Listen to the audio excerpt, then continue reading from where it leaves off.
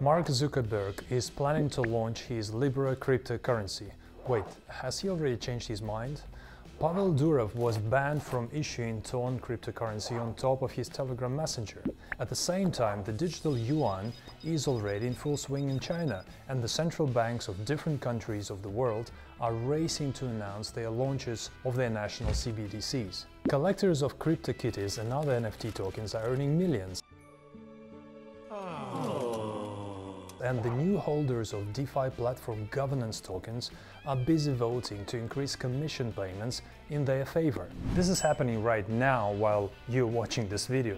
Me? Let's try to understand all this circus a little better so as not to miss any opportunities that may come your way in the near future. Hi everyone, Oleg Ivanov with you on the Ivanov Invest channel with Token Stories.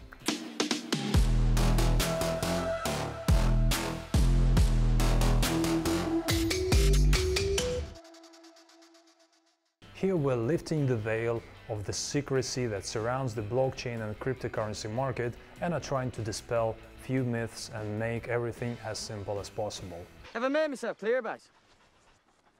Yeah, that's perfectly clear, Mickey. Make sure you subscribe to the channel not to miss the upcoming episodes. As today we're continuing the first series of Token Stories as we invite you to dive into the short and simplified tour of various types of cryptocurrencies. In previous videos, we have voiced our two basic principles. First, the principle of a car driver. I can drive a car, but I'm not obliged to learn the basics of the internal combustion engine or how the gearbox functions. So in here, we will ignore the more technically confusing issues of cryptography, transactions, about hashes and mining with consensus and just concentrate on the most simplified classification of various cryptocurrencies, tokens and coins so that at the usual user level it may become a little bit more clear why there are so many different cryptocurrencies and how they can be useful for you and me now. And the second principle, one video, one topic. In our previous episodes, we discussed the differences between cryptocurrencies and electronic money, as well the differences between utility and security tokens, and as a bright example, why errors in this classification led to fines and closure of Pavel Durov's Telegram Open Network project. If you haven't watched these episodes yet, make sure you follow the links which would appear in the screen now. And today in our third episode of Token Stories, we will go through the four layers of blockchain and understand the project tokens on each of these layers. Let's take a look. When Ethereum network was launched, it empowered developers from all over the world to develop their own projects issue their own tokens, each with their own model of how such tokens should function.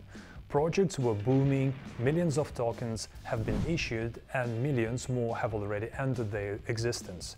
Ethereum alone has over 354,000 various tokens active as of January 2021. This sudden success, as could be expected, has attracted many many teams that started to attempt to build a so-called Ethereum killer, namely a blockchain platform that would allow users to issue their own crypto tokens. Tron, EOS, Waves, Tezos, Corda, Neo, Icon, Universal, Fantom, Polkadot, Freeton, year after year the number of platforms is still increasing and the number of projects launched of them is only growing. This blockchain layer is commonly called Layer 1, or the first layer of the blockchain architecture, or the tier of the blockchain protocol itself. There are two clear and distinct approaches that the founders of blockchain projects try to apply in the first wave of so-called ICOs, initial coin offerings, a name derived from a traditional IPO, an initial public offering in the traditional stock market. The first approach is to copy something that is already proven and working in the online business and to launch a version of it on blockchain. Your laptop out. A first wave of projects appeared attempting to build new online stores, social networks, cloud storage, messengers, online games, and blockchain casinos. The second group perceived this model of issuing crypto tokens as an opportunity to combine crowdfunding with a sort of loyalty program for their traditional businesses. Let me give you an example. Let's say I have a sand quarry somewhere in Moscow region, but I don't have the money to start developing it and uh, selling the sand, right? So what I do now is I release a sand coin, which will essentially give a discount of say 30% to the purchase of the quarter of all the sand reserves in my quarry in a year for the money raised now. In essence, I actually launch a loyalty program where uh, for the first quarter of all my sand reserves, I give a 30% discount off the market price of my sand in exchange for the money now. With this money, I am buying necessary equipment, hiring staff, and launching my business. And having sold only a quarter of my sand with this uh, discount, the remaining 75% of the sand I can safely sell at the market price. Great deal, isn't it? Everyone is happy. So thousands of projects were launched, thousands of crypto tokens found their way in the hands of crypto investors across countries and countries. And these investors were now waiting impatiently for the long-awaited project releases, the growth of users and accordingly for the increase in the token prices of such projects. But a lot went wrong. Leaving aside the usual statistics that even in traditional businesses, your success rate is around 10%. That is, one out of 10 projects generally survives and starts to develop some sort of revenue at all. The newly born blockchain industry brought in additional specific difficulties, which began to worsen the business survival statistics that were already far from being rosy. Let's leave the outright scammers and frauds out of the discussion. There are enough of those in almost any area, right? And let's just focus on what was reasonable. First and foremost, the obvious happened. Traditional businesses who launch such loyalty tokens for the sake of your typical crowdfunding or attracting capital from a large number of small investors from all over the world, suddenly one after another began to attract attention from regulators. Naturally, all the regulators, without mercy, began to smack their conclusions that such loyalty tokens are typical security tokens, which means that they fall under the traditional securities legislation, which means that you guys violated such regulations. So here's your fine, a ruling to seize your business uh, or go to jail. And we talked about these differences between security and utility tokens in the last episode, so make sure you watch it for more details. And secondly, traditional businesses launching such loyalty tokens for objective reasons could only provide very moderate financial returns to their token holders, right?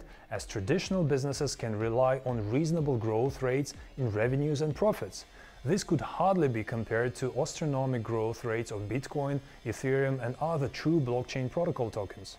So investors started to question the obvious.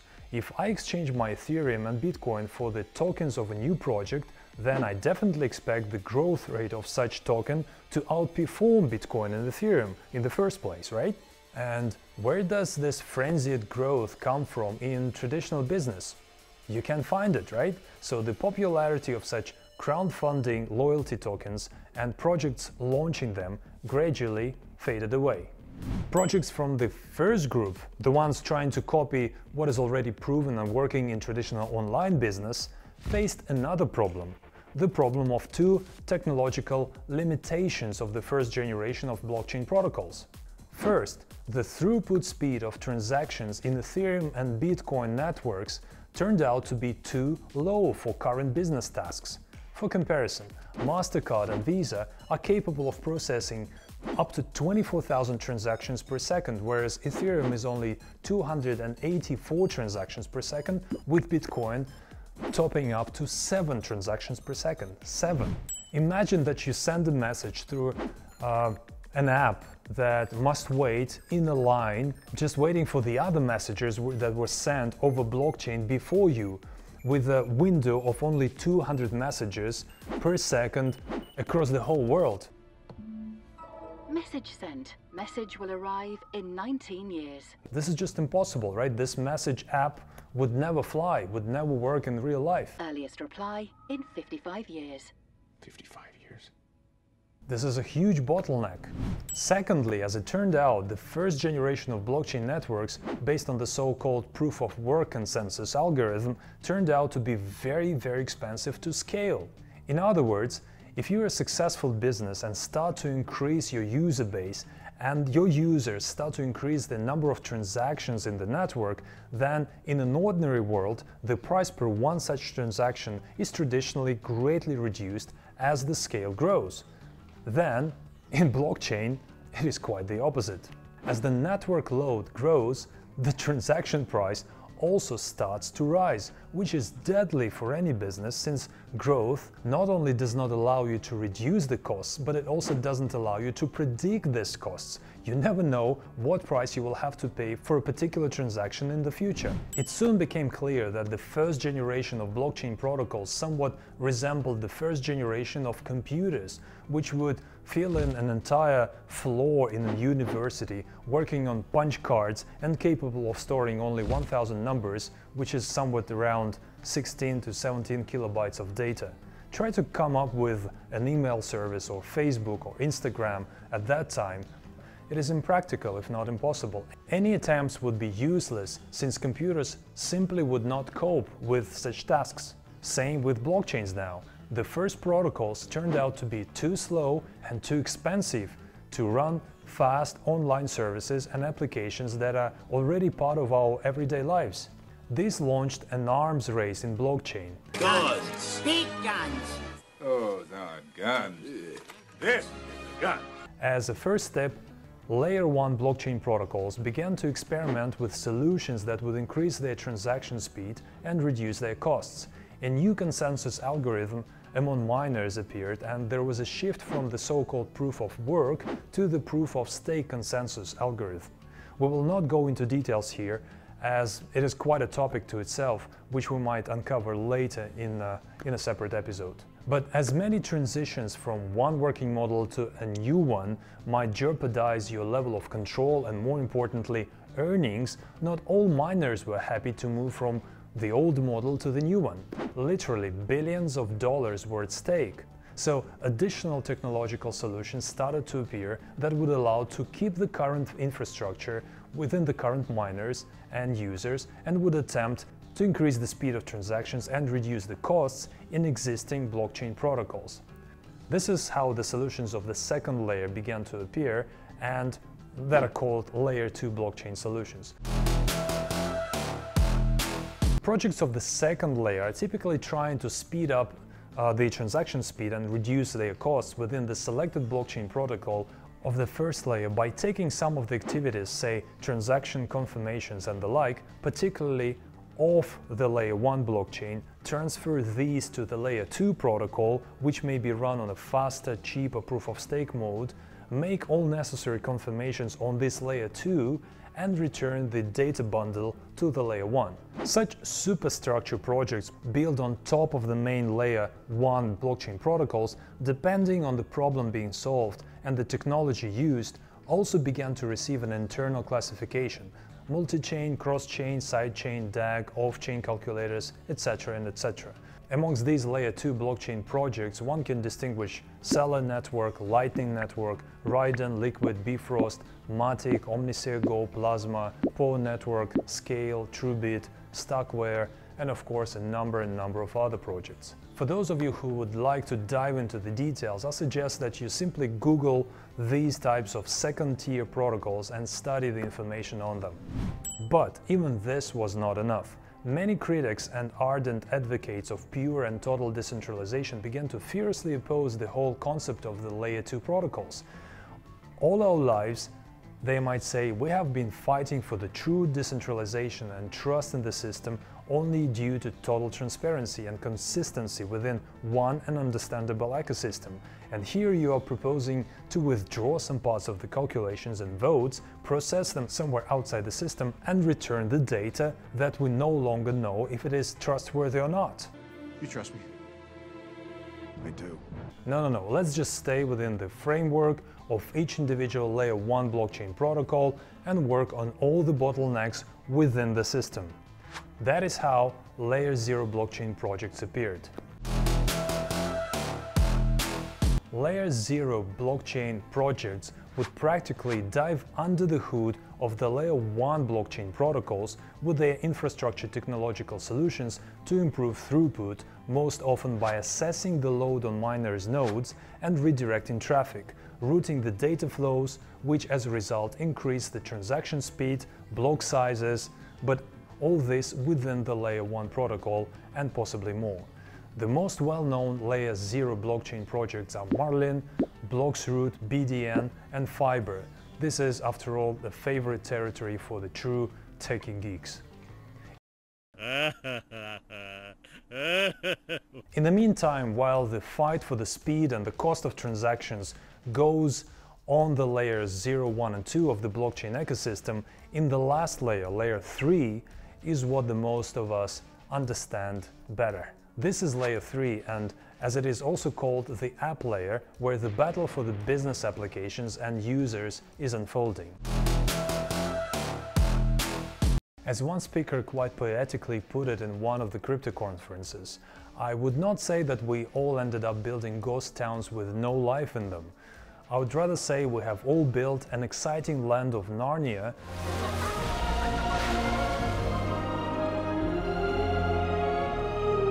Each of our projects have beautiful forests, stunning rivers and waterfalls, gorgeous dragons fly around over majestic castle walls. There's only one thing left, for users to find that damn door in the back of the closet in the dusty attic, so that they can finally find their way to us and be stunned with all this beauty. The entire blockchain industry is fighting for new users, month after month, year after year, constantly improving their products and interfaces, but so far success has been the fate of only a small number of projects. While both micro startups and large companies are testing blockchain applications in various industries, the scale of users is gradually starting to grow. The areas where blockchain projects are gaining traction are mostly in banking and finance, cybersecurity, logistics and supply, healthcare, insurance and real estate, accounting and financing, cloud service, patents and intellectual property, data transmission and Internet of Things, charity, voting, electricity management, music and video games and crowdfunding of course. More and more industries are testing blockchain solutions literally as we speak now. But what would be good to remember is that each of such projects on each of these four layers of blockchain infrastructure would launch their own crypto tokens with their own parameters and set of values, and the performance of such tokens would depend on the variety of different factors in these layers. And in order not to get carried away with such an abundance of different cryptocurrencies, thanks to have an, an, appearance of these stable tokens or stable coins, the ones that are pegged to a traditional currency, most likely US dollars of course, but how do such stable coins or crypto dollars work? What are they backed with? And how do they differ from each other? We will talk about in our next episode of Token Stories. We would really appreciate if you support our channel by clicking the like and subscribe button and also if you click on the bell, the notification bell up there uh, so that you don't miss on the next episodes. And thank you very much for watching. Also make sure that you share your thoughts and your comments below what are the strangest project tokens and conversely the most promising project tokens that you've heard about. Please share them in the comments. I'm sure that many of us watching this video, including myself, would be very, very interested to read your stories about them. It's been a great pleasure to be with you guys today. Thanks for watching Oleg Ivanov, Ivanov Invest channel with Token Stories.